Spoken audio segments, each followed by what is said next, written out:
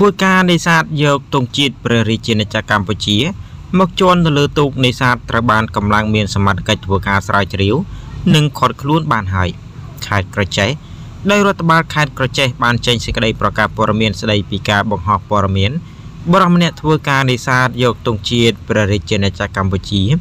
មកជន់ទៅលើទូកនេសាទនៅក្នុងទន្លេមុខសាលមហោស្រពខេត្ត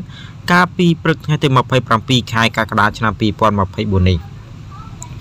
ដោយពាក់ព័ន្ធទៅនឹងករណីខាងលើនេះរដ្ឋបាលខេត្តក្រចេះសូមជម្រាបជូនសាធារណជន បងប្អូនប្រជាពលរដ្ឋជ្រាបថាបន្ទាប់ពីទទួលបានព័ត៌មានដោយបានចុះផ្សាយខាងលើរួចមករដ្ឋបាលខេត្តបានចាត់ឲ្យកម្លាំងមានសមត្ថកិច្ចធ្វើការស្រាវជ្រាវនិងខត់ខ្លួនបរិះដែលមានឈ្មោះខិនភិរមភេទប្រុសអាយុ52ឆ្នាំដែលមានទីលំនៅស្ថិតនៅភូមិក្រចេះសង្កាត់ក្រចេះក្រុងក្រចេះ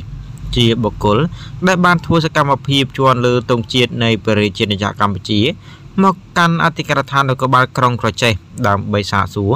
បន្តអនុវត្តទៅតាមនីតិវិធីច្បាប់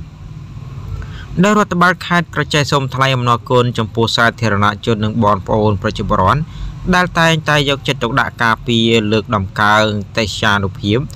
និងអត្តសញ្ញាណជាតិនិងសូមទទួលយកនៅរាល់មតិយោបល់ក្នុងការកែលម្អដើម្បីស្ថាបនាក្នុងន័យថែរក្សា ការពារអត្តសញ្ញាណជាតិនិងការអភិវឌ្ឍរបស់ជាតិយើង។